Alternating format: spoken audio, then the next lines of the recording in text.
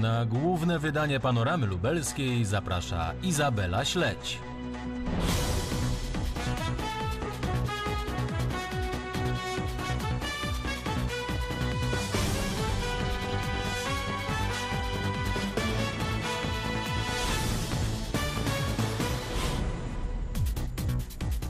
Jest 18.30, zaczynamy panoramę lubelską. Sprawdźmy, co dziś u nas.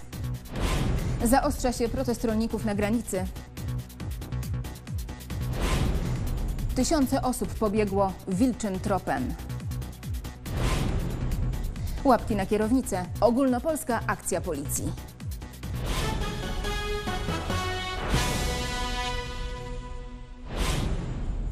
Zaostrza się protest rolników na granicy z Ukrainą. Zapowiadają, że zostaną tam nawet do czerwca, jeśli ich postulaty nie zostaną spełnione. Teraz przepuszczają tylko nieliczne ciężarówki.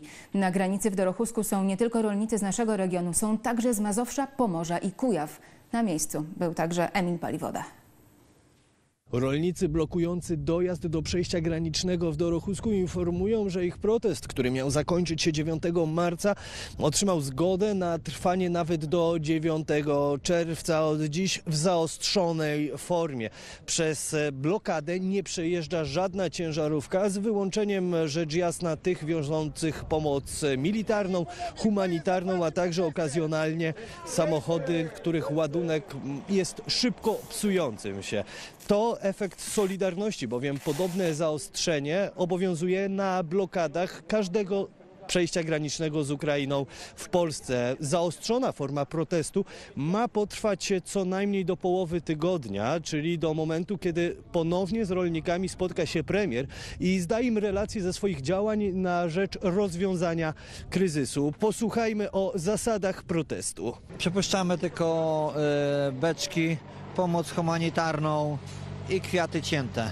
I to, co jest dla wojska, leki, to jedzie na bieżąco. Tego nie utrudniamy. Rolnicy są tutaj 24 godziny na dobę i wnikliwie kontrolują wszystko, co przez blokadę w kierunku granicy przejeżdża.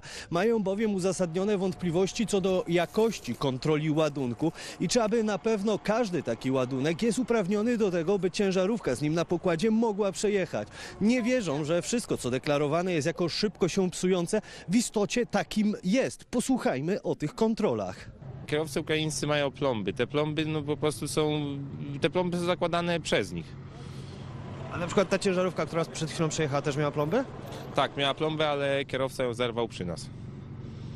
Czyli jaka wartość takiej plomby się pytam? Znikoma. Żadna, żadna. Ja taką plombę mogę sam kupić na Allegro w internecie i w ogóle, tak?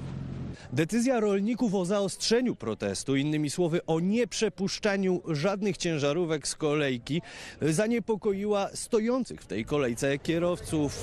Koło południa kilkuset z nich chciało dojść do blokady i negocjować z rolnikami. Powstrzymał ich kordon policji, któremu po kilkunastu minutach udało się spacyfikować to zgromadzenie. Wówczas ukraińscy kierowcy wrócili do swoich pojazdów.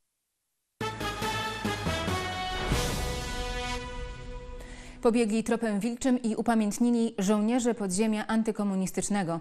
W całym regionie tysiące osób wzięło udział w biegach, które łączą sport z historią. Lublin, Ogród Saski. Tutaj w biegu tropem wilczym wzięło udział blisko tysiąc uczestników. Trasa mnie troszkę zaskoczyła, bo więcej było górek, doł, dołków. Biegam tutaj co sobotę y, na parkranie, ale troszkę inna jest ta trasa. Dzisiaj była trudniejsza, powiem. Dobrze, że krótka. Jest troszkę z góry, trochę pod górę, e, kostki, także jest urozmaicone to w tym momencie. Dystanse dwa. Jeden na blisko 6 km, drugi symboliczny na 1963 metry. 1963 rok to jest historyczna rata, data, y, kiedy to został schwytany ostatni y, żołnierz wyklęty i dlatego też biegamy na takim dystansie charakterystycznym, czyli nietypowym 1963 metrów. Dystans 1963 metrów powtarzał się wszędzie tam, gdzie miały miejsce biegi tropem wilczym. W Chełmie odbyły się już po raz jedenasty. Start miał miejsce na Placu Niepodległości. Bardzo spodobała nam się ta, e, to kultywowanie pamięci o żołnierzach wyklętych, bo oni byli, oni naprawdę byli i to, to, co zrobili dla nas, dla niepodległej Polski, powinno e, być w naszej pamięci zawsze. W tym roku pierwszy raz na mapie biegów ku pamięci żołnierzom wyklętym pojawił się Kraśnik. Wzięło w nim udział blisko 200 osób. Zarówno są to dorośli, jak i ci najmłodsi, najmłodsi przedszkolacy, e, dzieci ze szkoły podstawowych, także e, cieszy nas frekwencja z uwagi chociażby na pogodę, jaką mamy. Biegano również m.in. w Białej Podlaskiej, często całymi rodzinami. Jak mówili uczestnicy biegów, tego typu wydarzenia to dobry sposób na spędzenie wolnego czasu, a także oddanie hołdu żołnierzom, którzy do końca walczyli o wolną Polskę. Trzeba pamiętać e, o żołnierzach, którzy walczyli za Polskę, którzy zostali ścigani przez e, służby e, bezpieczeństwa i ludzi z PRL-u. Już to jest nasza trzecia edycja, więc jak byłem miała roczek, to już też biega, biegaliśmy razem w wózku. Dzisiaj udało nam się, że przebiegła pół na pół. Pamięć wyklętych żołnierzy chcę upamiętnić, no i też e, sprawdzić sama siebie. To jest nowe wyzwanie dla mnie. Zdecydowaliśmy się pobiec, dlatego że to jest słuszna inicjatywa upamiętnienia e, powstańców i, i y, dlatego, że chcieliśmy się sprawdzić również na tym dystansie. Żona tak, po raz spróbować, pierwszy. tak, pierwszy raz wystartowałam, no spróbować czegoś nowego, czegoś innego. W wydarzeniach brali udział nie tylko biegacze, ale też grupy rekonstrukcyjne. Tak było na przykład w Łukowie. Założyliśmy inne ubrania, założyliśmy to, co mieli żołnierze wyklęci na sobie, czy to po przegranej kampanii wrześniowej, czy to już nawet po zakończeniu oficjalnym II wojny światowej, ci, którzy poszli dalej do lasu walczyć. My chcemy chociaż w najmniejszym stopniu pokazać tutaj wszystkim zebranym, starszym i młodszym, przede wszystkim młodszym, jak ci ludzie wyglądali, Pierwsze biegi tropem wilczym odbyły się w 2013 roku. Od tamtej pory z każdym kolejnym rokiem do inicjatywy dołączały kolejne miasta. Bieg to nie tylko oddanie hołdu żołnierzom podziemia antykomunistycznego. W ich ramach często organizowane są zbiórki charytatywne. Teraz łapki na kierownicę to policyjna akcja, która ma zwrócić uwagę na problem używania telefonu komórkowego w czasie jazdy. A takie zachowanie to przyczyna nawet jednej czwartej wypadków na polskich drogach. Filip Karman. Takie zjawisko na polskich drogach nie jest dla nikogo zaskoczeniem. Niestety. No zdążyłem, jak to się mówi, wyhamować, ale to tylko dzięki temu, że czujniki parkowania, wie pan. Tak w moment spojrzałem, no samochód przyhamował, no zapiszczało po hamulcu, ale tylko spojrzałem dosłownie, nie odbierałem telefonu. Stąd policyjna akcja edukacyjna Łapki na kierownicę. Specjalne spoty są wyświetlane na tablicach multimedialnych w całym kraju. Kierowcy otrzymują też materiały informacyjne. Akcja ma na celu poprawę świadomości kierowców i zmianę ich podejścia do korzystania z telefonu komórkowego podczas jazdy samochodem, a tymczasem zminimalizowanie ryzyka wypadków drogowych, do których właśnie przyczynia się nieprawidłowe korzystanie z telefonu e, podczas jazdy samochodem. To nie są tylko puste słowa. Średnio na 5 sekund zostaje rozproszona uwaga kierowcy, który odbiera telefon, a szansa na doprowadzenie do wypadku w tej samej sytuacji wzrasta sześciokrotnie. Jak najbardziej zdarza się, że widać, że ktoś zaśpi na światłach, patrzy, a ktoś tam jeszcze prawda, w telefonie klika. Co czwarty wypadek na polskich drogach jest spowodowany właśnie używaniem telefonu komórkowego w trakcie jazdy. To oficjalne dane, które publikuje Instytut Transportu Samochodowego. Swoje dane mają też policjanci, bo takich przypadków w skali roku i w skali kraju jest ponad 50 tysięcy. Są jeszcze inne informacje mówiące przede wszystkim o tym, że samochód osobowy, który jedzie z prędkością 50 km na godzinę, w ciągu zaledwie sekundy pokonuje niecałe 14 metrów a taka odległość niejednokrotnie może uratować życie. Policjanci nie ukrywają, że w trakcie trwającej przez cały marzec akcji wyjątkowo rozmowni kierowcy nie będą mieli taryfy ulgowej. Do ujawnienia takich wykroczeń wykorzystujemy także nowoczesne technologie, takie jak drony, dzięki którym możemy monitorować ruch z powietrza i w łatwy sposób zidentyfikować kierowców. Za korzystanie z telefonu komórkowego w trakcie jazdy grozi mandat w wysokości 500 zł i 12 punktów karnych. Filip Karman, Panorama Lubelska. Lewica zaprezentowała listy kandydatów do Sejmiku Województwa Lubelskiego. W czterech z pięciu okręgów listy otworzą kobiety. O mandat w Sejmiku będą ubiegać się m.in. była prezydent Chełma czy były dyrektor szpitala w Lubartowie. Samorząd wojewódzki to e, przede wszystkim pieniądze unijne, to jest zrównoważony rozwój, to są szkoły, to są drogi i to wszystko nasi e, kandydaci dzisiaj, a później radni e, będą chcieli realizować. Idziemy po zwycięstwo, idziemy po to, żeby nasza reprezentacja była w Sejmiku. Proszę Państwa, jeżeli lewicy nie byłoby w Sejmiku, nie będzie odsunięcia PiSu od władzy. Lewica będzie startowała z własnego komitetu razem z Unią Pracy, Polską Partią Socjalistyczną, Nową Lewicą i Partią Razem. Liderem listy w Lublinie, czyli okręgu numer 1, jest Magdalena Długosz. W okręgach numer 2, 3, 4 odpowiednio Marek Mazurek, Elżbieta Sokołowska i Agata Fisz, była prezydent Hełma. Listę w zamojskim okręgu numer 5 otworzy Sylwia Buźniak. Wybory samorządowe odbędą się 7 kwietnia.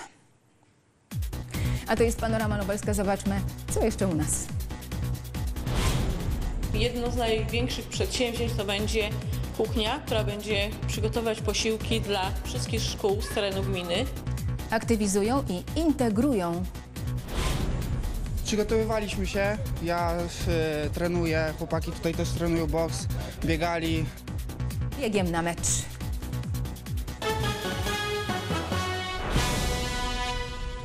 Jeszcze przez niecałe dwa tygodnie rolnicy poszkodowani przez suszę mogą składać wnioski. Szczegóły teraz w naszym rolniczym raporcie, a w nim także podsumowanie i przypomnienie najbliższych terminów ważnych dla producentów rolnych. Anna Wetoszka. Od 1 marca w całej Polsce można prawnie aplikować azot w dowolnym regionie i we wszystkich uprawach. A ponieważ ruszyła już wegetacja, to oznacza, że czas na pierwsze zabiegi pielęgnacyjne ozimin. Najpierw e, powinniśmy zacząć od e, aplikacji nawozów siarkowo-magnezowych i potasowych. Tutaj, jeżeli istnieje konieczność ich aplikacji, e, wynika to z analiz gleby, powinniśmy zacząć od tego. Duża wilgotność większości gleb w naszym regionie ogranicza w wielu miejscach możliwość wjazdu na pola. Dlatego rolnicy czekają z rozpoczęciem prac polowych. Specjaliści radzą, żeby opryski przeprowadzić jak najszybciej. W fazach wiosennego wzrostu oziminom zagrażają pierwsze szkodniki. Agencja Restrukturyzacji i Modernizacji Rolnictwa wydaje decyzje w sprawie płatności bezpośrednich i obszarowych, w tym ekoschematów. Rozpoczęliśmy wydawanie decyzji administracyjnych przyznających płatności tym rolnikom, którzy ubiegali się o dopłaty obszarowe wraz z ekoschematami. E, W, w ubiegłym tygodniu zostały opublikowane stawki e, kwotowe, jakie, jakie są e, przyznane kolejnym ekoschematom. Jeżeli chodzi o pracę biura, one pracują dłużej i pracują w soboty, aby jak najszybciej e, te decyzje wydać.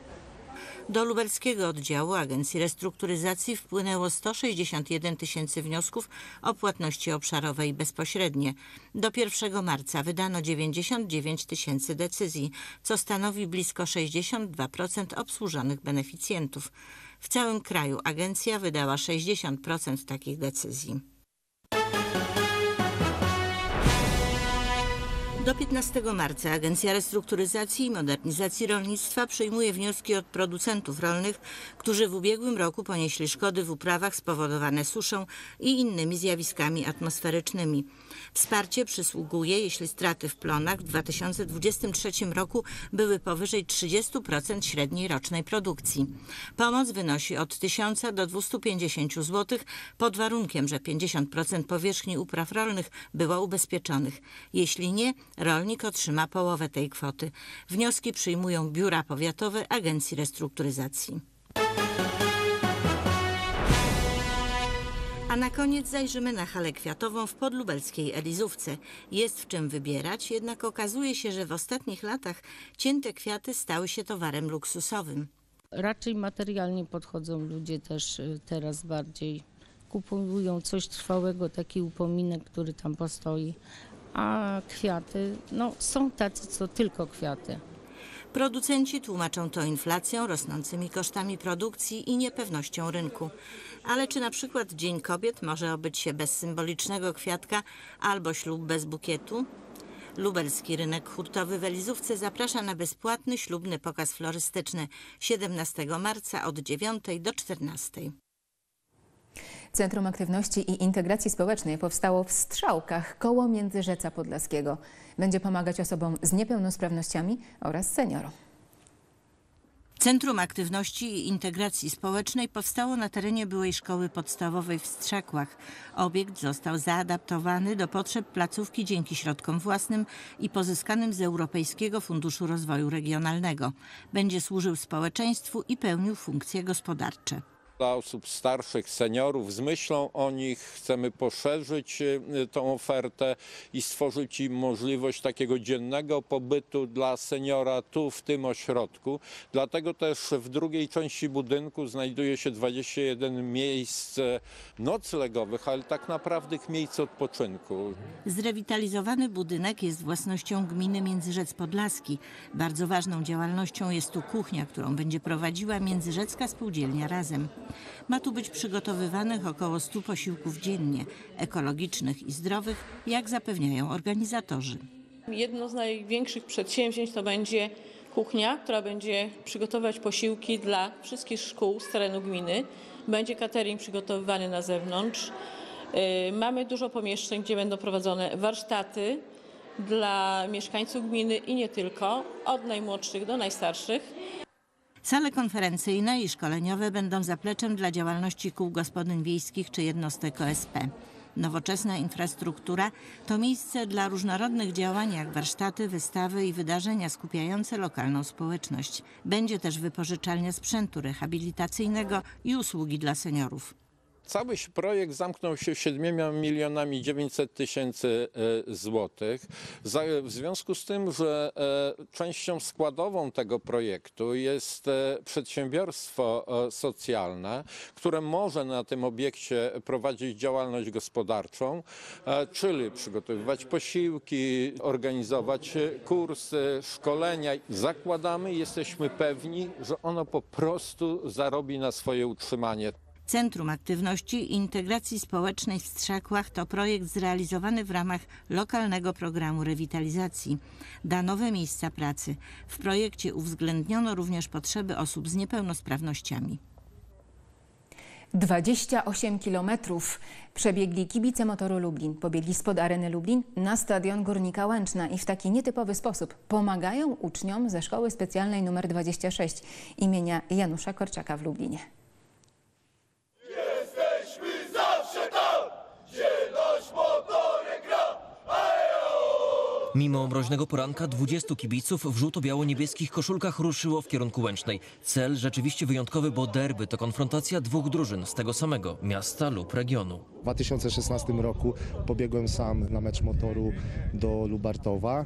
Wówczas było bardzo gorąco, ledwie dałem radę, ale się udało. No i z racji tego, że e, Łęczna jest niedaleko, znowu gdzieś e, powrócił e, podobny pomysł. E, Przedstawiłem go na Facebooku u siebie. Od razu znajomi podłapali temat Przygotowywaliśmy się, ja e, trenuję, chłopaki tutaj też trenują boks, biegali, e, każdy coś trenował, trzeba było coś e, spróbować, ruszyć się przed tym biegiem, żeby, żeby się udało. No i charakterem też trzeba nadrobić, bo wiadomo nie zawsze wszystko w nogach, to co nie w nogach to charakterem nadrobimy. Derby zakończyły się remisem 1 do 1, ale kibice i tak wygrali. Dobiegli, ale cel tego niemal 30-kilometrowego biegu był jeszcze jeden. To zbiórka środków na sprzęt sportowy dla dzieci ze szkoły specjalnej nr 26 w Lublinie. Osoby, które nie mogły wziąć udziału w biegu, bo ten dystans był dla nich za duży, trenowały biegu od, e, kawałkami, na raty, czyli biegli na orbitrekach, na bieżniach, e, spacerowali, biegali kawałkami.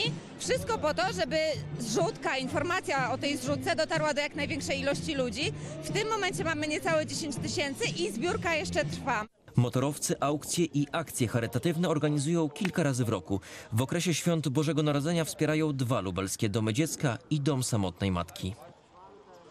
Kończymy panoramę lubelską. Za chwilę szczegóły prognozy pogody, a ja zapraszam Państwa na wieczorną panoramę, jak zawsze, 21.30. Do zobaczenia.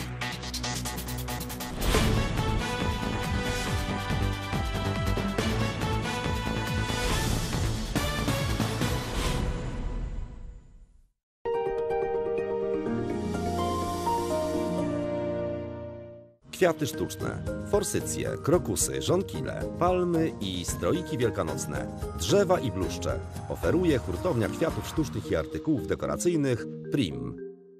Lublin, ulica Turystyczna 44.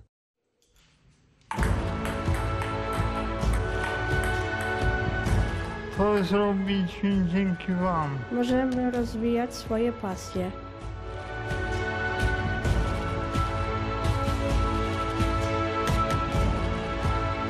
To jest przed nami. Twoje 1,5% z podatku może odmienić naszą codzienność. Polskie Stowarzyszenie na Rzecz Osób z Niepełnosprawnością Intelektualną. Koło w Zamościu.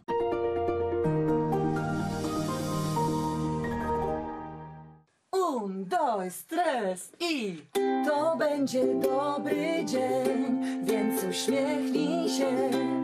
Idzie nowy dzień.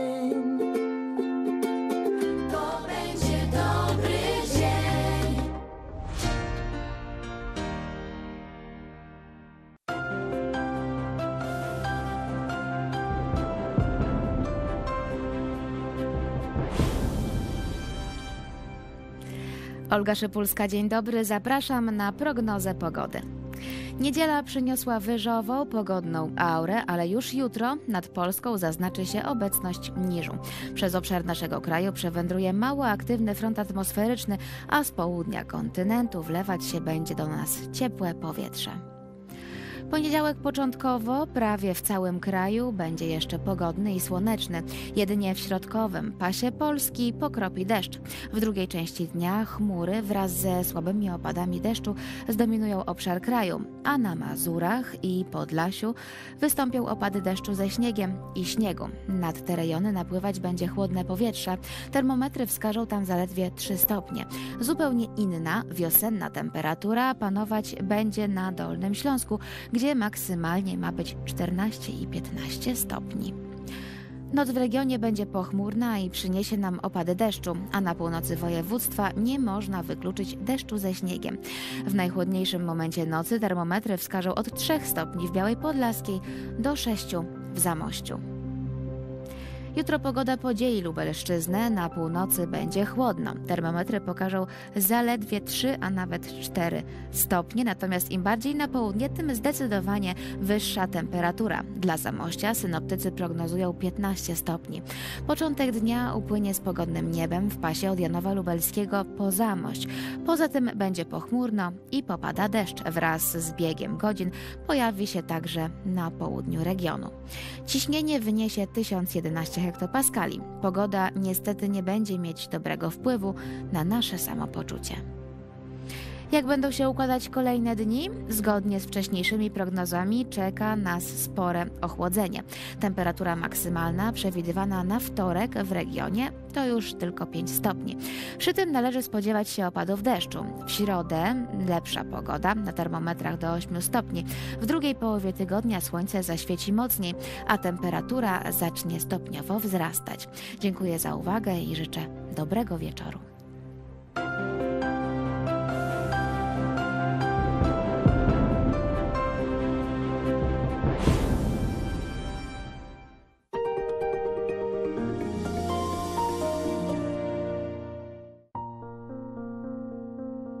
Stowarzyszenie Wspólny Świat z Białej Podlaskiej oferuje wsparcie osobom z autyzmem na przestrzeni całego ich życia, począwszy od diagnozy, badań przesiewowych, poprzez terapię, po edukację w przedszkolu, szkole podstawowej i szkole przysposabiającej do pracy. Nie pozwalamy na bycie sam na sam z autyzmem. Wesprzyj nasze działania. Buduj z nami wspólny świat.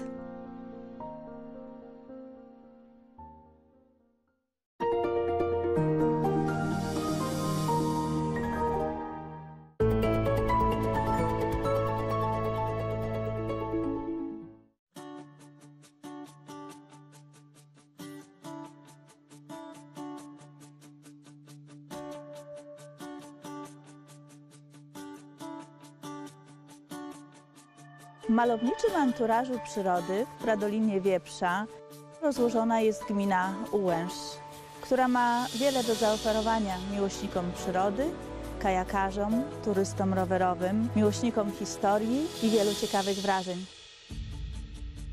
Miejsce wyjątkowe, tajemnicze, pełne niespodzianek. 60% naszego krajobrazu to jest obszar krajobrazu chronionego niezwykłymi siedliskami zwierząt i roślin. Mamy ptaki, bataliony, żurawie, mamy czaplę siwą, czaplę białą i na przykład czarnego mm, y, żółwia, żółwia błotnego.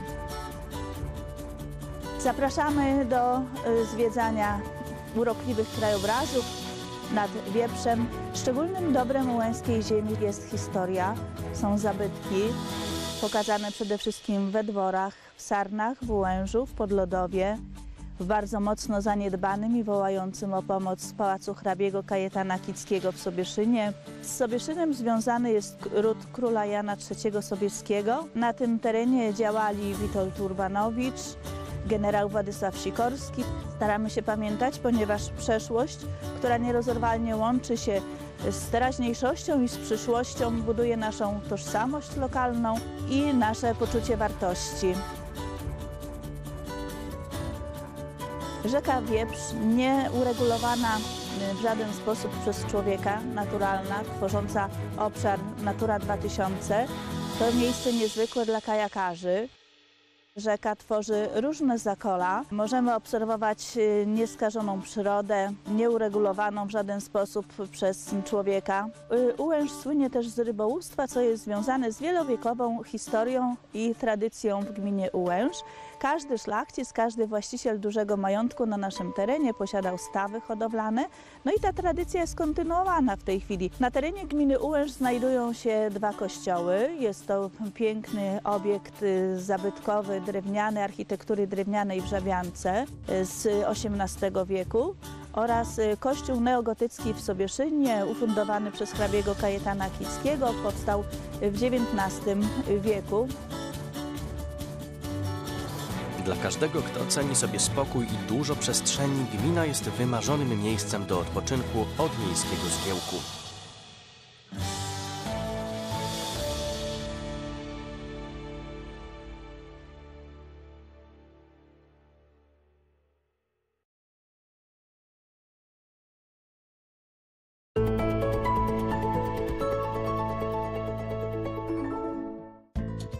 Tylko raz w roku jest taka szansa, by robiąc tak niewiele, dużo zmienić. Nie zwlekaj.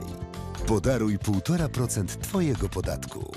Wystarczy wypełnić dwa pola w deklaracji podatkowej i wybrać jedną z ponad 9 tysięcy organizacji pożytku publicznego, które czekają na Twoją pomoc. Dzieląc się, pomnażasz dobro. Pamiętaj, Twoje 1,5% się liczy. Jeszcze kilka lat temu o Józefie